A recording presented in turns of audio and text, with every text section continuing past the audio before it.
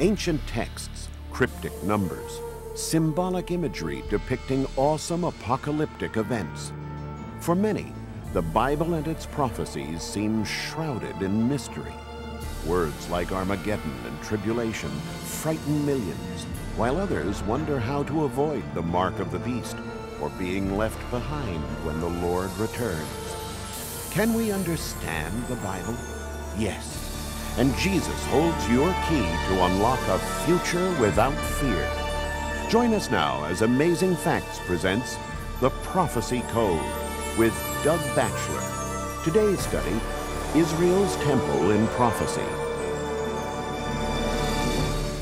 Good evening, and welcome to another night of Prophecy Code.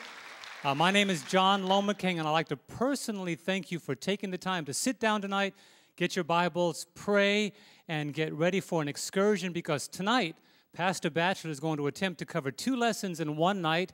God drew the plans and also about the prophecies of Israel.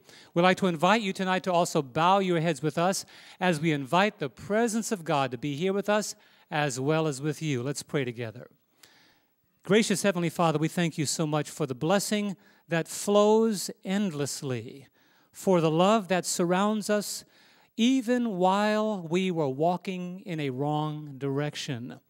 We thank you so much, Lord, that when we're going in the wrong direction, that a loving God like you allows U turns. And tonight, Father, your Spirit has come to give us wisdom and understanding and to open to us the wonderful words of life. We pray that you'll be with Pastor Batchelor as he breaks the bread of life, and may our hearts be filled with joy in following you. In Jesus' name we pray. Amen. We'd like to invite you to welcome tonight our speaker once again, President, Director, and Speaker of Amazing Facts, Pastor Doug Batchelor. Thank you, John. Good evening, friends. I'm so thankful to see you here. We're going to have our question time now, and I'll invite out Mrs. Batchelor.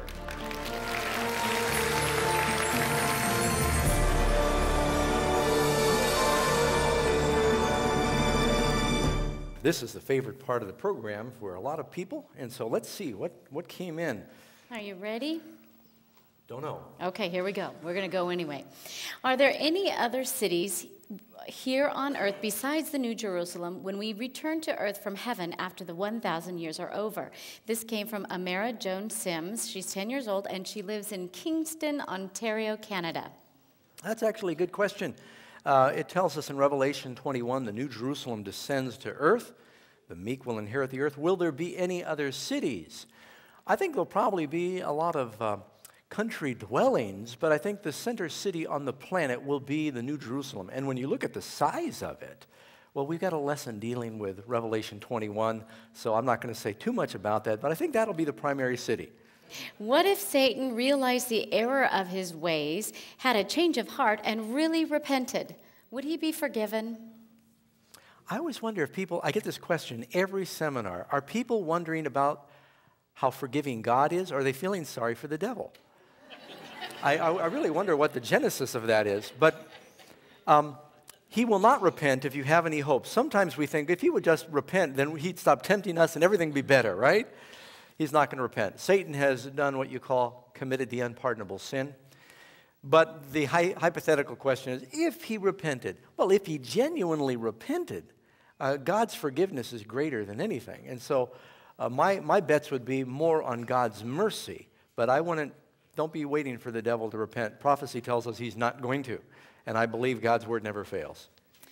You said at the Sunday meeting you believe that God has something planned for Israel and the Jews. What do you believe He has planned for them? Thanks, Jeannie. Well, I, of course, it's God's will that everybody be saved. Matter of fact, I jotted down one verse. I knew this question was in there.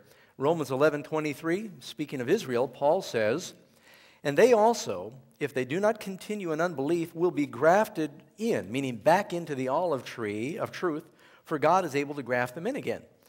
Well, I believe that God has a special plan for Israel in that there's going to be a revival among the Jews, and many will become believers. Matter of fact, it's happening now. About once a year, our family goes to the National Religious Broadcasters Convention, and there's a, an, one of the biggest exhibits, of course, is the exhibit of Israel. And the Jews for Jesus, Jesus and the Messianic uh, Christians is one of the fastest growing groups. But you cannot deny how remarkable it is. What other country in the world? Our lesson tonight deals with Israel's temple, so I'm going to take a moment on this. What other country in the world has been conquered, scattered, and yet after 1900 years they remain distinct, have a distinct language, writing, and then get their original territory back again? That didn't happen to any other country. It is so obvious God's working with the Jewish nation uh, that there's something remarkable there. But uh, we'll say more. Keep coming. All right. David is asking if we will be here on earth during the tribulation, then how do we know what time in the tribulation that we should head for the mountains before the time that Jesus comes with a shout? Good question. Well, it tells us, for instance, in Matthew 24, and I believe it's Luke 21, uh, Matthew says, When you see the abomination of desolation spoken of by Daniel the prophet, let those that be in Judea flee into the mountains. Luke says, When you see Jerusalem compassed with armies, let those that be in Judea flee into the mountains. Um, and there's a parallel between the fall of Jerusalem back in 70 AD and what's going to happen at the end of time when the abomination of desolation, the beast power, begins to surround God's people with laws. I think the, the key for us is when it becomes illegal because of religious political laws for us to practice biblical Christianity, we're going to have to make ourselves scarce. And like Elijah, when Jezebel said, I'm going to get, take your life, he fled into the wilderness, didn't he? And so we're going to have a similar experience. That's happened several times in the history of God's people. So the Lord will tell you when it's time. You'll know. Okay, so yeah, just, don't look back like Lot's wife. That's what Jesus warns us. Just, so when that day comes, if you left your coat, leave it. And he'll keep you warm. Don't look back. That's right. All right. Pastor Doug, what about baptism? Is it really necessary for salvation? If you have to be baptized to be saved, how do you explain the thief on the cross? And this is from Keith. There'll be a lot of people who are saved that did not get baptized. What about all the people in Old Testament times? Some churches teach that it's impossible for a person to be saved unless they're baptized. Well, what are you going to do with everybody that lived before the time of Christ? Baptism is a public expression that the Lord has mandated where we demonstrate our commitment to Christ. But it doesn't mean that uh, a person can't be saved. Let me give you an example. Sometimes I'll go to the hospital and I'll pray with somebody who is terminally ill. They're hooked up to all of these machines. They want to accept the Lord, and I'll lead them to the Lord, but maybe they can't get baptized because of their medical condition. Does the Lord say, Well, I'd like to save you, but you didn't get in the water, and so I can't save you? No, of course not. Baptism isn't going to be an obstacle. I've been in prisons where people wanted to accept the Lord, but because of the rigid, maybe they're on death row, the rigid rules, they couldn't get baptized. Is that going to be an obstacle? No. I think that anybody who can be baptized that doesn't want to, there's an issue of disobedience. But I think everybody who uh, has an opportunity will naturally want to be baptized. Well, and Jesus was baptized for those who could not. Good point. That's usually Christ your was, point. Yeah, well, I'm glad you mentioned it. That's why you're here. Mm-hmm. I, I, uh, I meant to share, but uh, the Bible tells us Christ didn't die for his sins, he died for ours. Christ was not baptized to wash away his sin, was he? Mm-mm. He was baptized as an example for you and me, and, if you will, in behalf of those who cannot be. They can take claim of his baptism, right? All right. I am a Hindu, but I need to become a Christian in order to marry the person that I love. He is a Christian and wants me to learn about it. I strongly believe that I should not get baptized until I know its significance in my life. I'm seeking for help. Please reply. Thanks, Bandana. Well, I would say don't get baptized in order to get married. Your commitment in marriage to Jesus must be genuine. And I have occasionally met people who, in order to accommodate the one they love, they join their church even though they may not really believe what the church believes. That's dishonest. Even if you really love the person, you want to marry him, don't pretend that you're embracing that faith in order to get married. My recommendation would be read the Bible. And I would hope that you'll fall in love with the truth in, in Jesus, and then you won't have that conflict anymore. But do it because it's the truth, not to get married. Amen? And continue coming to the meetings and you'll learn That's more right. and, and That's then right. you'll have an opportunity to make that choice. Amen. All right. We about out of time? I think we're out of time for You know- questions tonight.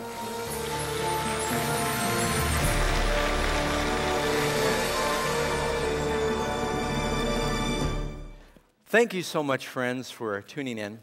And tonight we have a very important presentation that is dealing with the subject of the temple, Israel's temple in prophecy. And I think we're going to learn some very interesting things tonight, uh, some things that you maybe have never heard before, but I want to make you promise. What we present is going to come from the Bible. Amen? And so let's just make sure we stick to the word, and then we'll know that we're safe. I always like to begin with an amazing fact. And uh, some of you maybe have, heard of Henry Ford's mansion. He renamed it Fair Lane. It is uh, an architectural wonder. He was very involved in the designing of this magnificent structure, 32,000 square feet, uh, 13 beautiful fireplaces. One of them, I think, is 13 feet high, made of marble. Situated on 1,300 acres right there by the Rouge River in Dearborn, Michigan.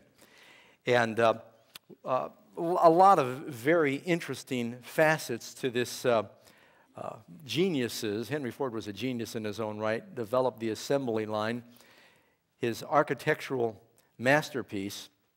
Among the things, he was uh, an ornithologist. He loved birds, had 500 bird houses, had a little Santa's workshop for the kids, had a miniature farm for the kids with miniature farming equipment. And, uh, but one of the things that made it unique was he, he didn't like the exorbitant prices the utility company charged for electricity, so he made his own powerhouse. He diverted some water from the Rouge River and went through these turbines, and he had 500 switches in a panel that would power his uh, massive mansion. The interesting thing was that in 1947, after 30 years of living there, the only time the power failed because the Rouge River went on a rampage one spring. Heavy rains killed the boilers that powered the generator, and the electricity went out. And it happened to coincide with the very time that Henry Ford was dying. And he died in the dark with candlelight, no heat, two miles from the place that he had been born 87 years earlier. You know, it makes me think about a similar circumstance in the Bible. When Jesus died on the cross, at the same time that Christ died in the spring, five miles from the place of his birth, a building that he had designed had a power failure. How many of you remember that when Jesus died, what was happening in the sanctuary at the same time? The veil that separated the holy place from the most holy place that represented the presence of God was torn from the top to the bottom by an unseen hand, laying open the vacancy because the ark was not there anymore, and one might declare Ichabod. You ever heard that phrase before? The glory is departed. The significance of what happened when Jesus died in the temple has a very profound impact on God's people and the role of the temple in prophecy. Now, we need to begin with the beginning. There are actually three temples on earth that you read about in the Bible. How many? I want to make sure you're still with me. You've got what they call the Temple of Moses, then there's the Temple of Solomon, then there's what they call Herod's temple, but it, it was first built by the people in the time of Ezra and Nehemiah, but Herod embellished it. When the Lord brought the children of Israel out of Egypt, of course, they went through the Red Sea. Instead of going right to the promised land, he first brought them to Mount Sinai. Why did he go to Mount Sinai? Because he needed to receive the Ten Commandments. But that's not the only thing he received up on the mountain. While he was up on the mountains there, God gave him some divine plans for a sanctuary. And that was one of the principal reasons. Not only did God give him the plans for the sanctuary, they were not allowed to go to the promised land till they had built this portable temple. Nothing like it had ever been constructed before, a nation that carried their temple around with them. Whereas in all other cultures, the temple was the center of the nation, uh, this temple went with the people. and the presence of God hovered above the temple. All right, let's get to question number one. What did God ask Moses to build?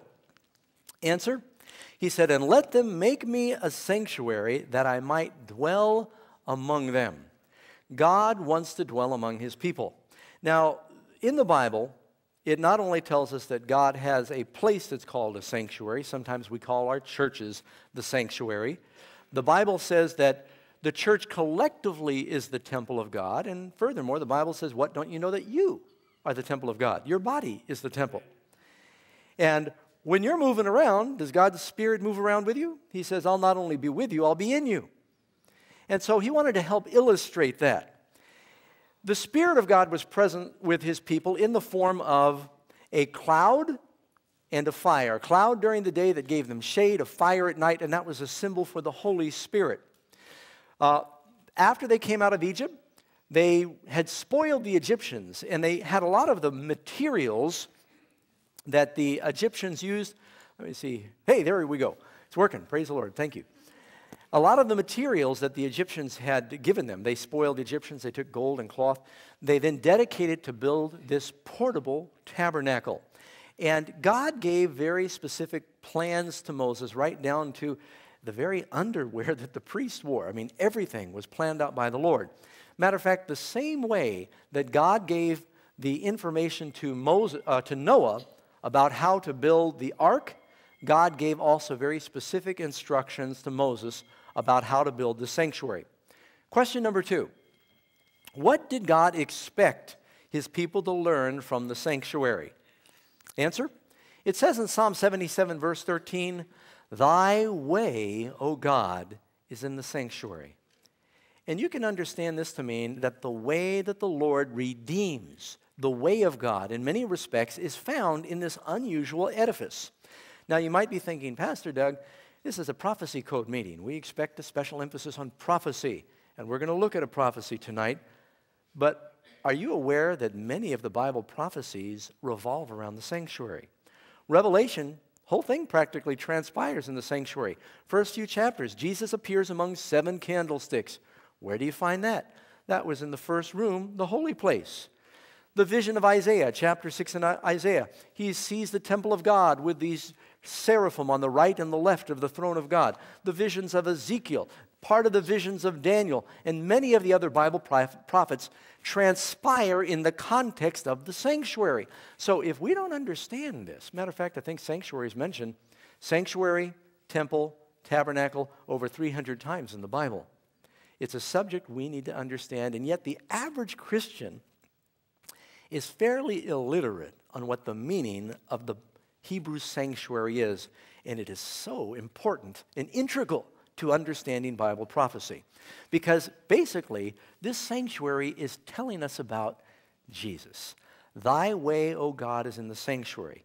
It demonstrates how he saves, and it helps us peek into the whole process of salvation. I'll say more about that, and uh, you'll understand better as we proceed. Number three, from what source did Moses obtain the blueprints for the sanctuary? We can read the answer. It tells us in the book of Exodus, chapter 25, verse 40. And God said, And look that thou make them after their pattern, which was shown thee in the holy mount. Furthermore, Hebrews chapter 8, verse 5.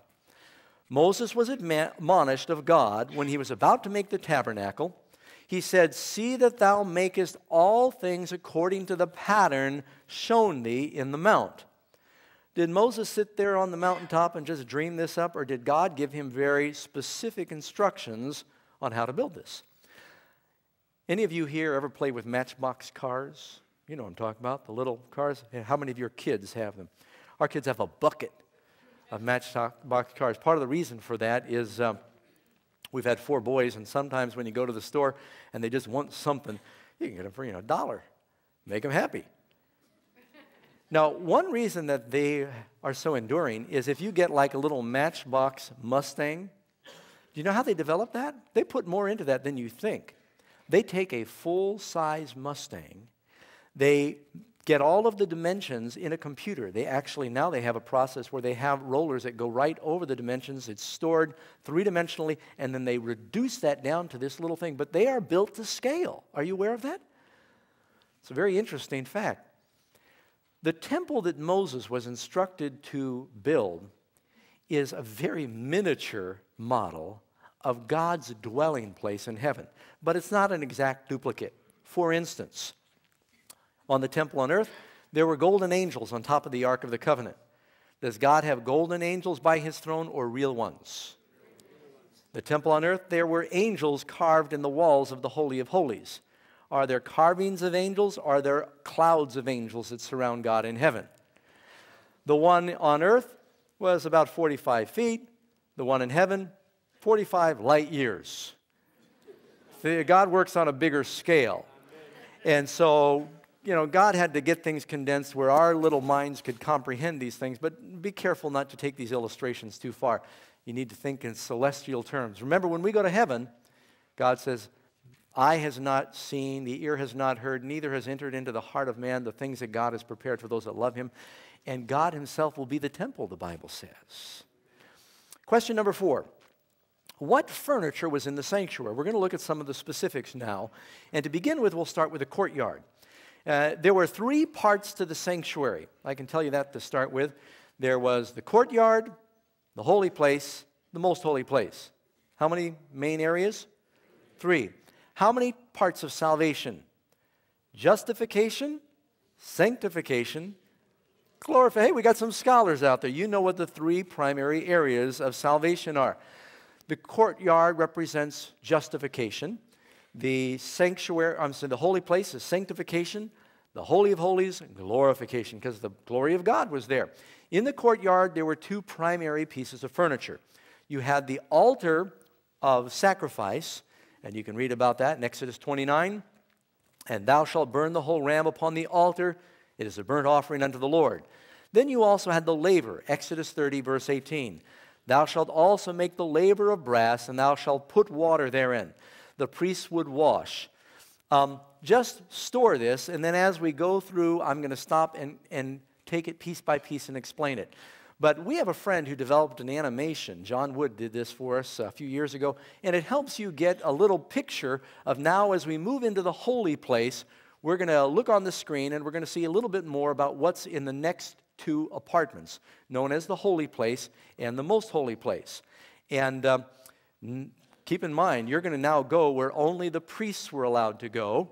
When you went into the holy place, of course, you had the candlestick on your left with seven lamps on it. That appears in Revelation. The altar of incense, and we saw on our right was the table of shewbread. Then you move into the Holy of Holies, where only the high priest could go once a year. What was in there? The Ark of the Covenant with those beautiful golden angels, and everybody would like to find that golden box. What's the important thing, though? The golden box or what's inside? And what was in the golden box? It was called the Ark of the Covenant or the Ark of the Testament because the testimony, the covenant God made with man, meaning the Ten Commandments, was in that golden box. So now let's go back and we'll review on our slides again what was in the first room called the holy place. There was a table of showbread. And how many loaves were there? 12, one for each of the tribes of Israel. And this is a symbol of the provision of God as they went through the wilderness, and it also represents the bread of life, the Bible. Then you also had the candlestick on your left as you went in the main door. That re- represents the light. It was kept burning with pure olive oil, a symbol of the Holy Spirit that keeps the fire burning in our hearts, that first love fire. It illuminated the apartment. It's the light of God's Spirit that gives us discernment. And then in the very middle, just before the veil, was the altar of incense. This was the place where the priest would sprinkle incense. The smoke, this pleasant aroma, would waft over the curtain into the presence of God, and it's where he made intercession. It represents the prayers of the saints. Now, everything in that room is telling us about the personal devotions of a Christian. There are three things the bread, the light, the altar of incense. If you want to grow as a Christian, you need to read your Bible, you need to pray, that's the altar of incense, the bread, the Word of God, and let your light shine, share your faith. Those are the three primary disciplines of the Christian. And so it's telling us about the plan of salvation. And I'll say more about what's in the courtyard in a minute. But let's move now into the holy place. And you can see this is an artist's concept here of the layout. The veil was separating the holy place from the most holy place. Angels were engraved in the walls, angels were woven into the fabric of the veil. They were not supposed to look upon the ark or the presence of God. Why? Because we're separated because of sin. When Jesus died on the cross, the veil rent, meaning now we can approach the throne of God boldly through Christ. And we become a nation of priests because of his sacrifice. So, oh, there's so much here. I wish I had more time to share all this with you. What was in the Holy of Holies, most holy place, was the Ark of the Covenant, this golden box. And in the Ark of the Covenant was what? The Ten Commandments. Deuteronomy chapter 10, verse 4 and 5. And he wrote on the tables, according to the first writing, the Ten Commandments. And again, it says in um, Verse 5 I turned and I came down the mountain, and I put the tables in the ark which I had made, the golden ark that he had been instructed to build. Now, think about this, friends. Over in the Middle East, there's a place called the Holy Land. What's that country? Israel. And in the land of Israel, the Holy Land is the holy city. What's that called? Jerusalem. You know the answer. Stay with me. And in the holy city of Jerusalem, there's the Holy Mount. Who knows what that's called? Mount Zion, or sometimes Mount Moriah. And on the Holy Mount is the Holy Temple. And in the Holy Temple, you've got the Holy Place. And after you pass through the Holy Place, you've got the Holy of Holies. You see, there's, there's like a bullseye that I'm forming for you the Holy Land and the Holy City, Holy Mount, holy temple, holy place, holy of holies. And what was in the holy of holies? The holy ark. And what was in the ark? Ah, the temple is golden and marble, and the holy place is gold, and the ark is gold. And what was in the ark? The focal point of all these holiest of places in the whole planet is two rocks. Isn't that interesting? Well, Jesus is the rock, isn't he? But these are not any stones. They are inscribed by the finger of God, and those words were spoken by the voice of God. And you know what it is? That law is a summary of love. Jesus tells us that all the law is summarized in two commandments. First four commandments deal with love for God, the last six deal with love for man. It's all telling about God's love for us. And so this is all pointing to the presence of God. And it, the rock is a type of Christ, right? All right, question number five. Why did animals need to be sacrificed in the Old Testament sanctuary? You know, I've had a lot of people that have approached me and said, Doug, you know, I love Jesus and the Bible has a lot of wonderful truth, but I am so turned off by the grisly sacrificial system. Why was all that blood necessary? It is an awful thing to consider. Why was it necessary? Answer Hebrews chapter 9, verse 22. Without the shedding of blood, there is how much? No remission for sin. There's no forgiveness for sin. And uh, again, we read in Matthew chapter 26, verse 28 For this is my blood of the New Testament, the new covenant, which is shed for many for the remission or the forgiveness of sin. Now, if you lived back in Bible times and you wanted to be forgiven, you would bring your lamb to the temple. And if you were the head of your family, you would place your hands on the head of that little victim and you would confess your sins and the sins of your family. In the Bible times, the patriarch of the family, Job would offer sacrifice for his family. Abraham, Isaac, Jacob, they offered sacrifice for their family. The father in the family, the sheik, the patriarch, would offer sacrifice for his family. And he would transfer symbolically the sins of the family, those confessed sins, to this innocent lamb. And then they would cut its throat and catch the blood. And in the temple, the priest would then sprinkle the blood before the Lord, saying, This blood represents the life of this innocent lamb that has died for these people. Now, think about it. If you wanted forgiveness every week, suppose you did it weekly, you ought to be praying all through the day for if you make a mistake or you sin, you should deal with it right then and there. And at least at the end of the day, right? In case you die in your sleep.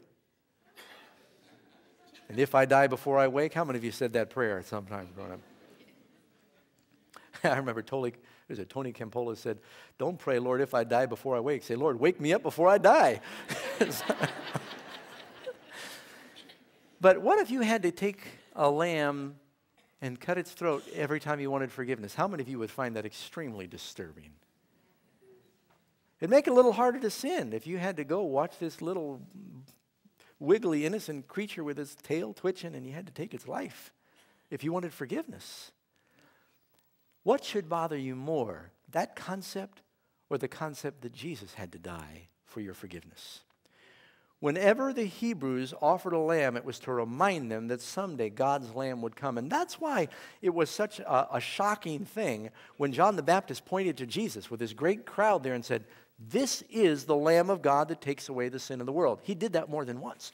There he is, the Lamb. All those other lambs from Abel to the present point to him. That was a stunning statement for him. But you know what happened to the Jewish nation? The same thing that happens to the church today. They got so used to it. It's like someone that works in a slaughterhouse stops, they don't think about all the animals dying around them anymore. You get callous. Christians can get calloused about sin and how it hurts Jesus.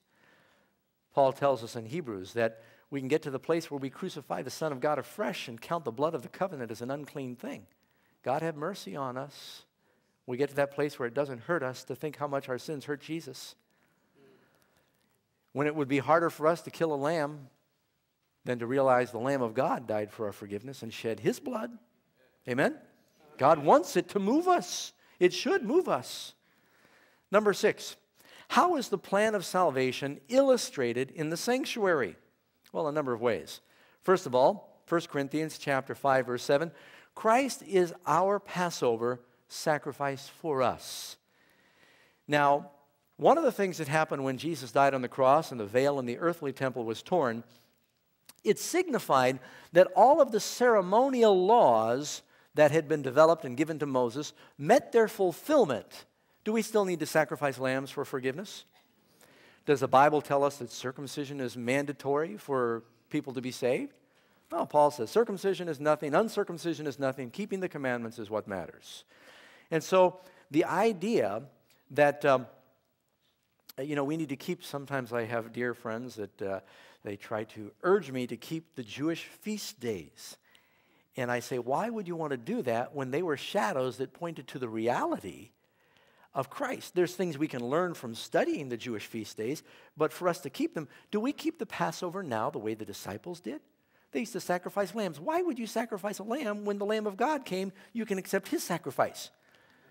You know what I say to people is it's sort of like a family that has a, a young son or daughter that's in the military and they're looking at their picture on the mantle, and every now and then they go up and they give their picture a stroke or a kiss. And finally, they come home on furlough, and you see them at the door. You say, Oh, it's so glad you're here. And you run back over and hug the picture again. Why would you do that? They're there, right? And, but you're going to meet, they'll be Christians, and they're probably well intentioned that try to say how important it is to keep the Jewish ceremonial laws. I respectfully disagree. My Bible tells me Christ is now our Passover lamb. Things went through a radical transition. They were all shadows that have now met their fulfillment. Furthermore, Hebrews chapter 4 do I have to go find a Jewish priest to find forgiveness, or do I have Jesus, my high priest? It says, We have a great high priest that has passed into the heavens, Jesus Christ, the Son of God. He is our high priest, and we are all a nation of priests. Amen? We're called the nation of kings and priests. Furthermore, Hebrews chapter uh, 8, verse 1 and 2. We have such a high priest who is seated at the right hand of the throne of the majesty in the heavens, a minister of the sanctuary in the true tabernacle which the Lord erected and not man. So Jesus is ministering in the real sanctuary of what's the earthly one was just a model. And so the idea of carrying on with an earthly temple now, does the church need that or have things gone through a transition to the heavenly temple? Now, here's what I've been waiting for. This is my favorite part. And uh, you can see an illustration here of the sanctuary. It's very simple. But you can see here there's three places in the sanctuary. Um, you've got how many entrances? One. One door. Who is the door? Who did who said he was the door? Jesus said, verbatim, I am the door.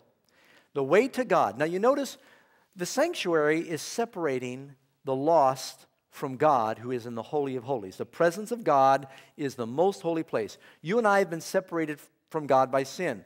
The idea of salvation is we are trying to get back to God.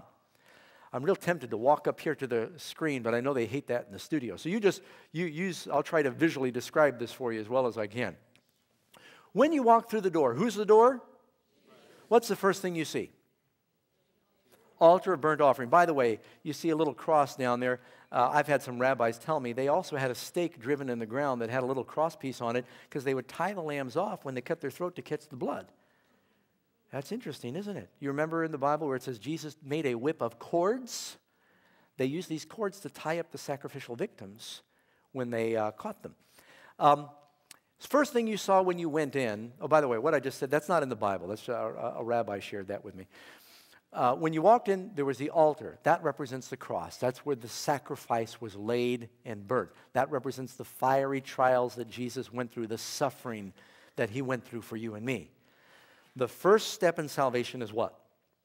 The cross, the altar. The cross equals what? The altar. The altar equals the cross. Then, after you've accepted Jesus, what's the next piece of furniture on your journey to God? The laver. The laver represents baptism. Okay? When the children of Israel went out of Egypt, there were three areas the children of Israel went through to get to the promised land slaves in Egypt, then the wilderness, they were justified in Egypt when they sacrificed the Passover lamb, right? That's the courtyard. Then the wilderness is the holy place. Then the promised land was the most holy place. When the children of Israel got out of Egypt, what did they go through? Red Sea. Paul says, 1 Corinthians chapter 10, they were baptized in the sea. Before we can get out of Egypt and into the wilderness on our way to the promised land, you've got to go through baptism. The last thing they went past before they went into the holy place was the water, baptism. Cleansing, commitment to Christ is symbolized there. Now you move into the holy place. There's three things in there. You've got a table of shewbread. Who is the bread? Jesus said, I am the bread that came down from heaven. He is the bread of life. Then on the left there, you've got the, uh, the uh, candle stand. Who is the light? Jesus said, I am the light of the world. Then there's the altar of incense, which represents the prayers. In whose name do we pray? We pray in the name of Christ. He's everything. Then, if you should move into the Holy of Holies, you've got the Ark of the Covenant there. That golden box represents what's in the box again? The rock's in the box. Who is the rock? Jesus is. And even the sanctuary, this is so incredible because it, it, it it also even rep- represents your body. You know, the Bible says, What? Don't you know your body is the temple of God? Um, do our bodies have an altar that's consuming? Yeah, you're always consuming energy all the time. You're burning calories, sometimes more than others. Does our body have a system that cleanses, like the laver, the water? Yeah, matter of fact, most of us are 90 something, maybe 85, 90% water. Then there was storage of food in the sanctuary. Do our bodies store food? Yeah. The light, the Bible says, the light of the body is the eye. Was there a light in the sanctuary? Then there's this ethereal altar of incense, a spirit. Does man have a spirit? Even biblically, it teaches that, right? You know, scientists, brain surgeons cannot tell you how a thought is stored. They still don't know if a thought is a physical thing. It's, it's a mystery how the mind works. And then if you go into the Holy of Holies, Thy word I have hid in my heart, as a man thinketh in his heart, that's your mind. God doesn't communicate with us through our elbows or our knees or our stomachs. He communicates with us through our minds, doesn't he? Amen. And so it's even a type of the human body. Oh, there's so much I could share with you about this, but I'm running out of time and I haven't even got to the prophecy for tonight yet, so I need to hurry along here. Um, the next temple we get to, after the tabernacle was brought into the promised land, uh, by the time of King David, David wanted to build a new one. He gathered all of the money and the resources to build Solomon's temple. And the Bible says the Temple of Solomon, when it was being built with, with stone, it was finished at the quarry so that no hammer or chisel or any iron tool was heard in the temple while it was being built. It was one of the most beautiful temples in the world, one of the wonders of the world, filled with gold and bronze and silver. Keep in mind, during the time of Solomon, the Bible record is there was so much gold in the country that silver was like stones. I mean, wouldn't you have liked to have seen the land of Solomon when the Queen of Sheba, you ever heard the expression breathtaking? Do you know that comes from the Bible? When the Queen of Sheba, it says she was breathless when she saw the marvels of Solomon. That became one of our popular sayings. It was the most spectacular temple in the world, one of the wonders of the world back then. But even though it was a beautiful building and the presence of God was in the temple when they dedicated it, over time the people became complacent. Even Solomon set up false gods in the temple eventually. It lasted about 380 years. Finally, King Nebuchadnezzar came along and destroyed the temple in about 586 BC. Evidently, Jeremiah and some of the priests took the Ark of the Covenant and hid it somewhere around Jerusalem, probably in a cave or an old tomb. We don't know. Nobody's found it yet. Wouldn't it be nice if they found the Ark of the Covenant and the Ten Commandments inside? Would you like to find the Ark of the Covenant? Yes. Why? Do you want the golden box or do you want the rocks in the box? Do you know that you've got what's in the Ark of the Covenant in your Bible? Isn't that right? Ten Commandments is in there. I'll tell you what's in the ark right now. You've got it. That's a treasure. Now, when the children of Israel were carried off to Babylon, when Nebuchadnezzar conquered Jerusalem, destroyed the temple, they had been instructed by Solomon to pray towards that place. And while Daniel was a captive in Babylon, he on a regular basis would pray towards Jerusalem. In Daniel chapter 9, he's praying towards Jerusalem praying about when the Messiah is going to come and how long until God's people get to go home again. And an angel is sent from heaven to answer his prayer. Now we're going to look at a prophecy in Daniel chapter 9 about when the Messiah came the first time, telling about when the veil in the temple would be torn. Turn with me to Daniel chapter 9, and I hope you read the supplemental material because I am greatly condensing this presentation. What does the angel Gabriel say in verse 24? regarding Daniel's people and when the Messiah would come. 70 weeks are determined for your people and for the holy city to finish transgression, to make an end of sins, to make reconciliation for iniquity, to bring in everlasting righteousness, to seal up the vision. In other words, this vision would be completed, and to anoint the most holy. How many weeks? 70 weeks. And in that 70 week period of time, a lot of things were going to happen. The sacrifice would cease, the Messiah would be anointed, the Jewish people would complete their primary purpose as a people during that time. Then he says in verse 25, Know therefore and understand that from the going forth of the command to restore and build Jerusalem unto the Messiah the Prince, there shall be seven weeks. He begins to divide up the 70 weeks. What does a day equal in prophecy? Who knows? I'll give you more scripture for that in a minute that first seven weeks. If a day is a year in prophecy, seven weeks has how many days? Seven times seven is 49. 49 days is really 49. It says that for that first seven weeks, the street will be built again and the wall in troublesome times. You can read in the books of Ezra and Nehemiah how during that first 49 years, when they returned from Babylon, that the streets and the walls of the city was rebuilt and they started building the temple during troublous times. A lot of persecution and opposition. And he said there'd be another three score and two weeks. Who remembers what a score is? If you've been to the Lincoln Memorial, you know. Score is 20, right? Four score would be 80. Three score is 60 and two.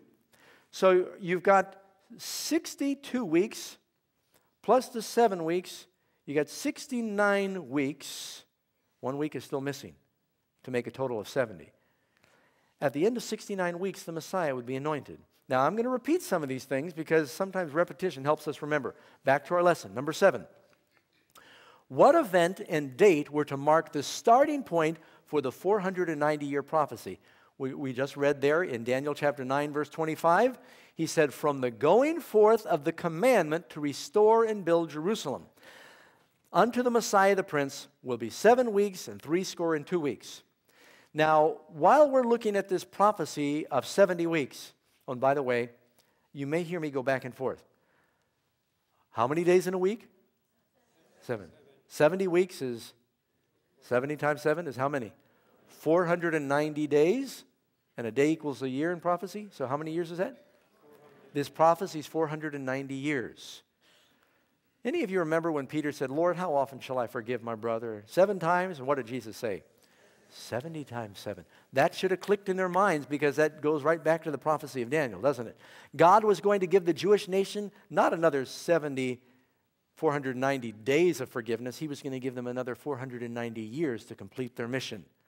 Okay? Oh, by the way, what was the primary mission of the Jewish nation?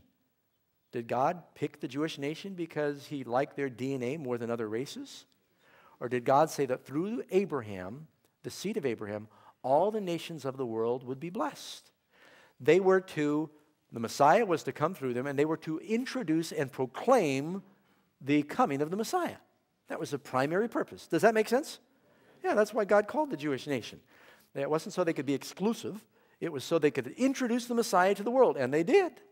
I'll get to that in just a minute. Unto the Messiah the Prince will be seven weeks and three score and two weeks. Okay, now let's look quickly some biblical support for the principle of a day equals a year. You might jot these down Ezekiel 4 6. I have appointed thee each day for a year. Numbers 14 23.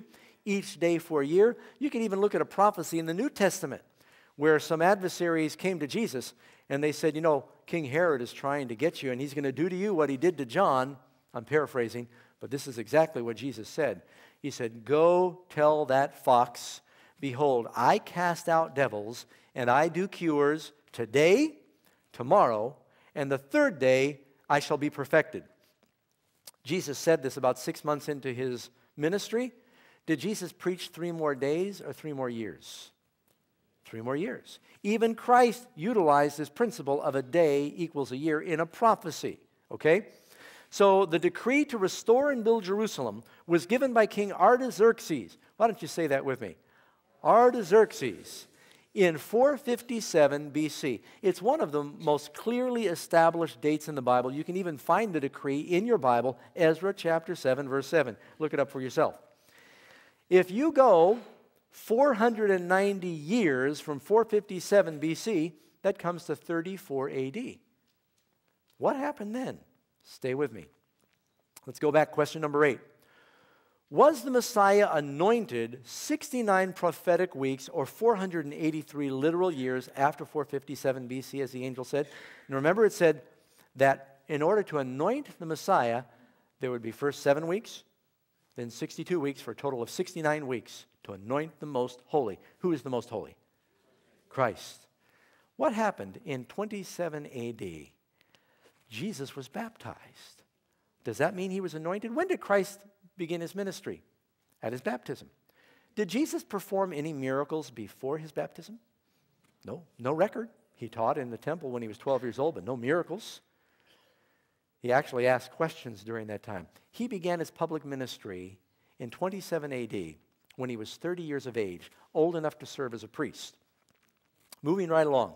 It says here in Acts chapter 10, verse 37 The word that I know after the baptism which John preached, how God anointed Jesus of Nazareth with the Holy Ghost and power. He was anointed. Remember when he came up out of the water, what happened? Holy Spirit came down. He began, it says he was tempted by the devil, and then he began preaching, Repent, the kingdom of heaven is at hand. Isn't that interesting? Exactly 69 weeks after the decree to restore and build Jerusalem, Jesus began his ministry. There's still one more week to go. By the way, I almost hate to tell you this, but how many of you you've heard of the 7 years of tribulation? You know where they get that 7 years of tribulation? From this prophecy.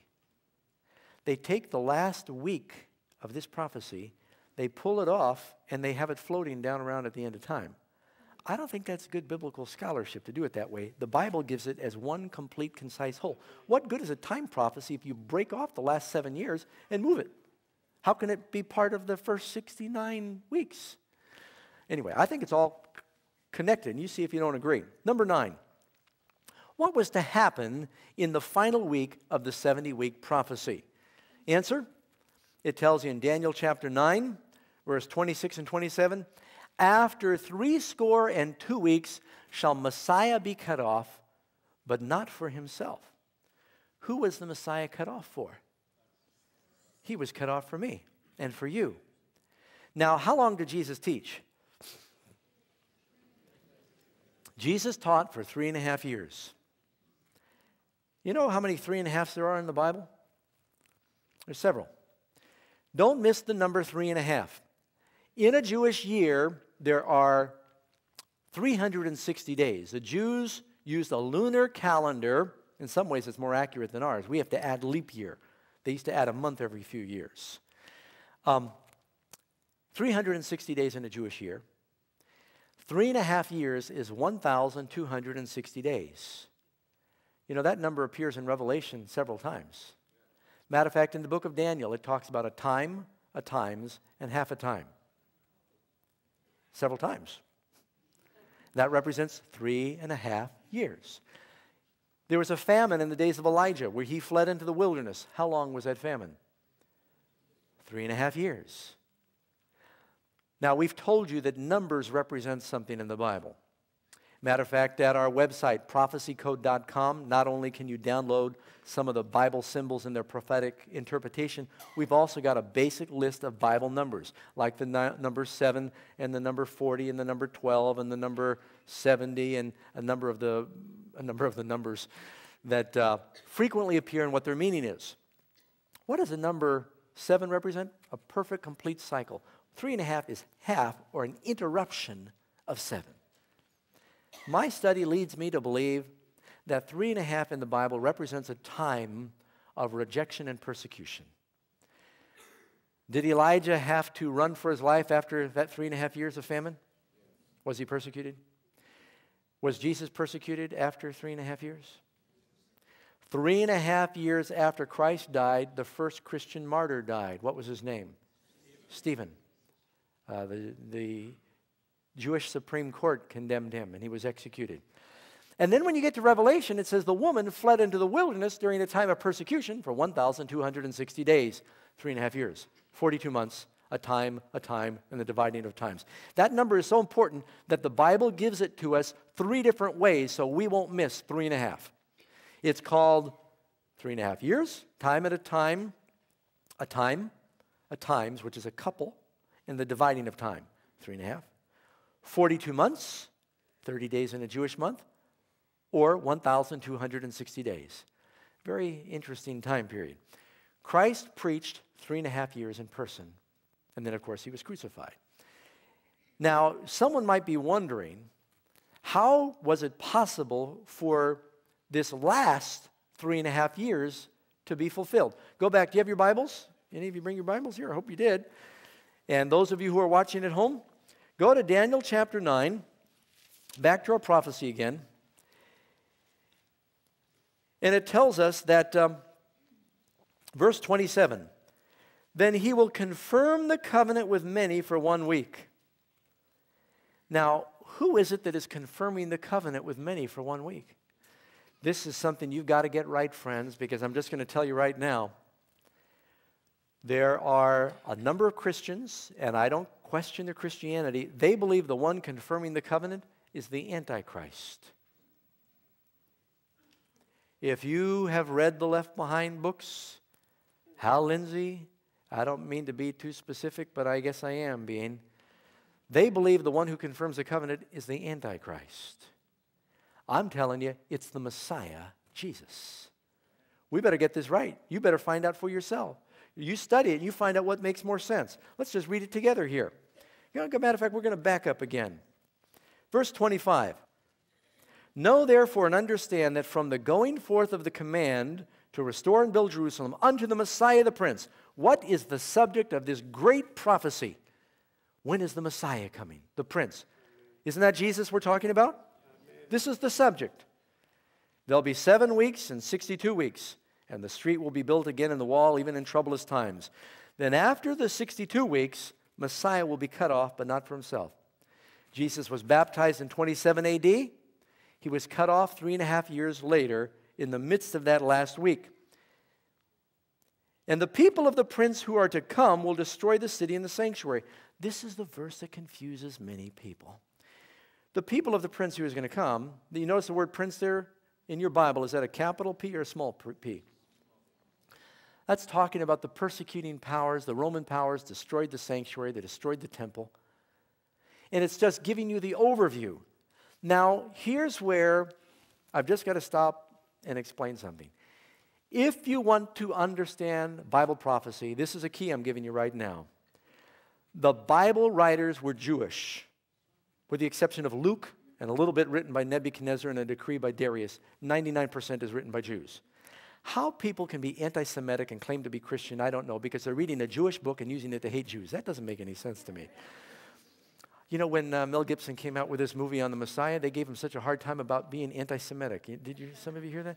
And my mother was a film critic, and some of these people that were criticizing were some of my Jewish friends that were criticizing the anti Semitism. And I wanted to say, I don't get it. The hero is a Jew. how, how can it be an anti Semitic movie? The hero is a Jew.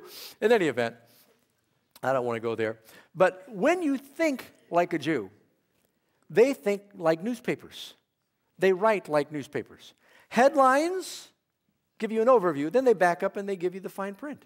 They don't think or talk chronologically. A matter of fact, if you sit in a room of Jews that know each other, and I'm including myself, I'm just telling you about my Jewish family, they all talk at the same time. and they understand what everybody in the room is saying. And conversing is something that you do collectively. And it is not uncommon for them to say, for instance, the Messiah will be cut off, not for himself, and the Romans that are going to come, they'll destroy the city. But now back to the Messiah. Genesis. People get confused. It tells about the creation of the world the first six days, right? Chapter one. Then it backs up and tells how Adam names the animals. And Eve isn't created yet. Is that the eighth day? Did God create her? Wait a second. It says she was created by the end of chapter one. How come it's backing up and telling how she's created? This is how the Bible is written. Many prophecies are written that way, where it lays out the big picture, backs up, gives you some details, then it moves on. Gives you some details, then it moves on. Did you get that? This is how the Bible is written. If you think that the prophecies are written chronologically, you're going to get some very convoluted interpretations, and believe me, there's plenty of them out there. All that the angel is doing is he's backing up and telling Daniel, the prince that's going to come is going to destroy the city. But now we're going back to the hero, the Messiah. And he goes on to say, He will confirm, I'm in verse 27, He will confirm a covenant with many for one week. Now, if you're going to convince me that it's the Antichrist that is confirming the covenant, then you've got something you've got to do. Show me one place in the Bible where the Antichrist makes a covenant. Where does the Antichrist ever make a covenant with anybody? Does the Lord make a covenant with his people in the Bible? Yes, he does. He will confirm the covenant with many for one week, and it says, in the midst of the week, he will cause the sacrifice and the offering to cease. He'll bring the sacrifice to an end. If you go 69 weeks from the time when uh, the command was given to restore and build Jerusalem until Jesus' baptism. That's 483 years. matter of fact, um, put that chart up there for me. See that? 483 years from the time of the command being given until the baptism of Jesus, 27 AD, right on time, Jesus is baptized, right? Then he preaches for three and a half years.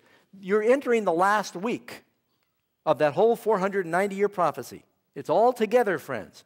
You're entering that last week. In the middle of the last week, Jesus dies on the cross. What happens at the same time he dies on the cross in the temple? The veil is rent. You know what happened to the sacrifice that day? They're getting ready to offer the Passover sacrifice and kill this Passover lamb, and a lot of the religious leaders were oblivious that the real Passover lamb was dying outside the city at the same moment.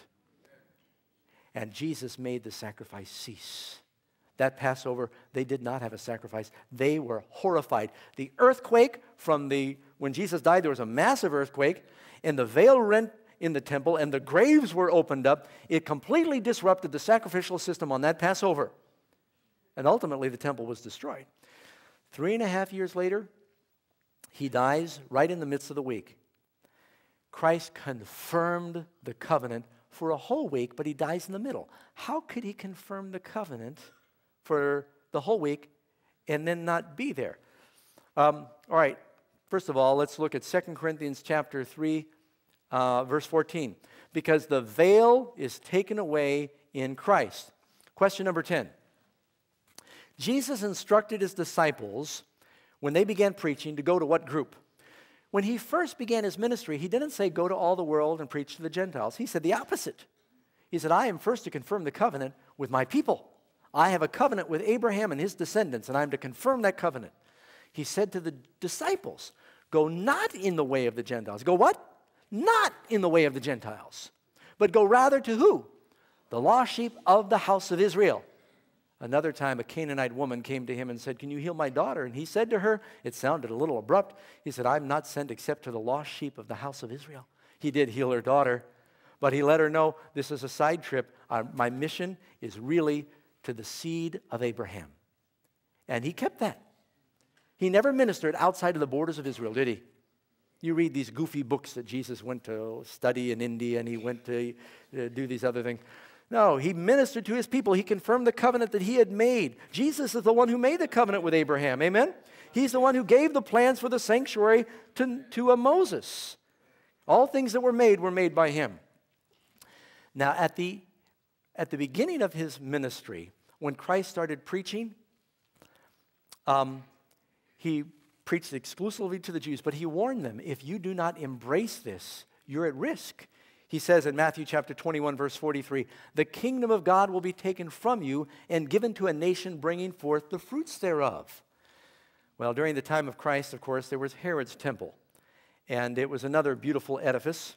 One of the first things Jesus did when he began his ministry, how many of you remember when he chased out all the money changers? He cleansed the sanctuary. And when he did that, he said something, and don't miss these little words. He said, Take these things hence my father's house is not to be a house of merchandise. Whose house? My, my father's house. Amen. My father's house. Amen. Now, notice what he said at the end of his ministry. After his preaching was rejected, he said, Behold, your house is left to you desolate. Then he goes out and he dies, and the veil rips. See what's happening here? This is very important, friends. His disciples come to show him the buildings of the temple. We talked about this already. And say, Isn't it a beautiful building? And Jesus said to them, Don't you see these things? The day is coming when there's not going to be, I'm rushing ahead here, sorry, there won't be left here one stone upon another that will be thrown down. The significance of this earthly temple is not what it's all about anymore. A matter of fact, Christ said explicitly, He said, Destroy this body, and in three days I'll raise it up. What was He talking about? Destroy this temple. The church is the body of Christ now. When he died on the cross, the physical temple met its fulfillment. Now it's the body of Christ. This is the temple, right? Even at the trial of Christ, the only thing that they could get to agree on, they found two false witnesses that almost got it right. They heard him say, I'll destroy this temple that is made with hands, and within three days I'll build another one made without hands. He did say something very close to that, didn't he? because that temple was going to meet its fulfillment and it was no longer necessary anymore. It was all talking about when you're a kid, you play with matchbox cars. When you get to be 18 years old, if your father gives you a matchbox, it doesn't work anymore. That's not going to make you happy. You want the real thing. Why would we be satisfied with this earthly ritual and this temple when we've got the Lamb of God and we've got the temple of the church? the real body of Christ. And yet there are people who are so worked up about wonder when they're going to build the temple again so the Messiah can come back. He already did it. He said, Destroy this temple and I'll raise up the one that really matters my body. Number 11. Since Jesus died in the midst of this final week, how did he confirm the covenant with many for one week? Remember, it says he'd confirmed the covenant for one week, seven years.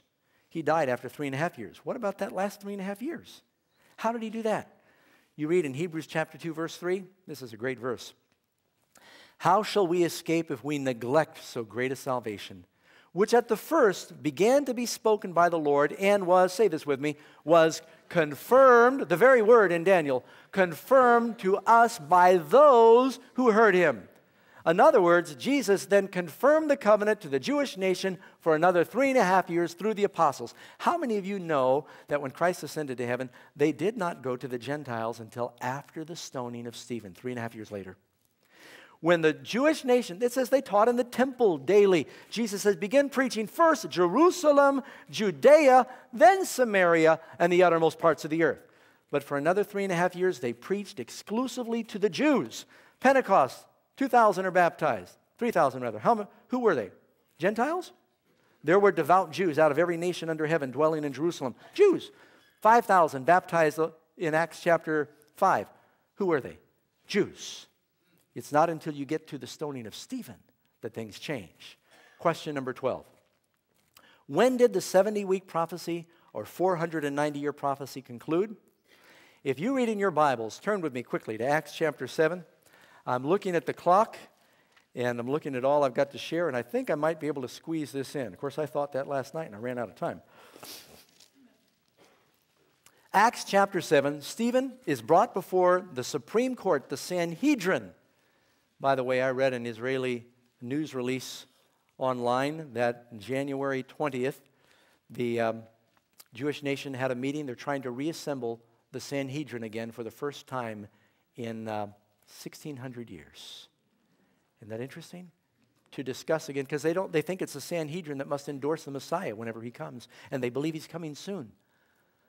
I think a lot of people are getting ready also to accept a counterfeit, so we've got to know what the true is. Amen? Stephen makes his defense. He preaches this spirit filled sermon, so his face is glowing before the Supreme Court of the nation. And the Bible says that, um, verse 54, when they heard these things, Acts chapter 7, 54, they were cut to the heart. They gnashed at him with their teeth. But he, being full of the Holy Spirit, gazed into heaven and saw the glory of God and Jesus standing at the right hand of God, and said, Look, I see the heavens opened and the Son of Man standing at the right hand of God. And they cried out with a loud voice and stopped their ears. What does it mean when the Supreme Court of a nation the religious leaders plugged their ears after hearing the gospel from somebody whose face is glowing. That was not a good sign. And I know it is politically incorrect to say this, and I might get some letters from my Jewish friends, but it's the truth. That as a nation, any Jew can be saved, right? There's no hope for me otherwise. But as a nation, they blew it right then. That's, there's no way you can mince words about this. The Messiah came. And what did Peter say? You've crucified the Lord of glory. At least some of them had the wits to say, Men and brethren, what shall we do? They were convicted. But these were convicted and they plugged their ears and they gnashed their teeth. They took him out and they stoned him. And when they stoned him, you know what he did? He said the same thing that Jesus said Father, forgive them. They don't know what they're doing. Stephen died very much like Jesus died a, a bad trial, illegal trial, taken outside the city killed by his own and prays for their forgiveness. Three and a half years after Christ begins his ministry, he confirms a covenant in person. Then, for another three and a half years, he confirms a covenant through those who heard him, the disciples. Jesus said, As the Father sent me, he told the disciples, So send I you. You go and preach to them now. Preach to the lost sheep of the house of Israel. I believe God has a special work for the Jews. I think you're going to see a revival among the Jews that respond to this kind of preaching the same way they did to the preaching of Peter and Stephen. Many were converted back then as a result of that. When was Stephen stoned? 34 AD. And you know what's amazing? They laid their clothes down at the feet of someone named what? Saul, who later was known as Paul. He's converted in the next chapter, and he becomes the apostle to who? The Gentiles. 34 AD, something significant happened. The Jewish nation, that 490 years was up for them. That's why Paul said, Seeing that you put these things from you, lo, we turn to the Gentiles. Now the gospel was to go to anybody, Jew and Gentile. The Jews are not restricted from the gospel, but it was not to be exclusively for them anymore. It was now to go to whosoever will. And who is Israel today? So here you've got the prophecy very quickly. 483 years Jesus is baptized 27 AD. Then, 31 AD, he dies on the cross. He confirms the covenant for three and a half years in person. In the midst of the week, he makes the sacrifice cease. He preaches three and a half years through those he fills with his spirit. The same way he wants to do it with us now. Then Stephen is stoned. The nation officially plugs their ears. The gospel explodes to the Gentiles after that. Number 13, who are God's people and where is his temple today? Answer the Bible says, And if you are Christ, then you are Abraham's seed and heirs according to the promise. Again, you can read in Romans chapter 9, verse 7 and 8. Nor are they children because they are of the seed of Abraham, that is, those who are of the children of the flesh, these are not the children of God. But the children of the promise are counted as the seed. If you've accepted the promise of Jesus, you become the seed. And again, he is not a Jew who is one outwardly, Paul says, but who is a Jew? Who is one inwardly. Amen. So if you've accepted Christ, shalom. You are a brother and sister of mine, right? You become spiritual Jews. Again, Peter says, You are also living stones. We become the temple of God. Everybody, Jew, Greek, Gentile, male, female, we all are built up to a royal temple. Where's the temple now? Christ's body, his church, is the temple of God today. Now, you might be wondering, what about the Antichrist sitting in the temple of God, showing himself that he is God? Keep coming. We've got a lesson on the Antichrist, and I'll talk about what that means. Jewish temple was destroyed in 70 AD. From that day to this day, the Jews have not had a sacrificial system. Isn't that interesting? Why? Because he made the sacrifice cease. Jesus was the Lamb of God that took away the sin of the world. Friends, and he did that for you. He has a special plan for you. He's wanting you to know these things. All that has happened in the Bible has happened right on schedule. And don't miss this. If Christ came according to the 490 year prophecy, he came right on time the first time, baptized in 27 AD. Will he come right on time the second time? And wait until we get to some more of these prophecies, friends. The Bible fits together perfectly. He's brought you here because he wants you to know these things. He wants you to be ready. Do you want to be ready? Yes. Let's ask him to help us right now. Loving Father in heaven, thank you for the truth that your people become your temple. We can be living stones, and that our very bodies can be your dwelling place, that we individually can become temples.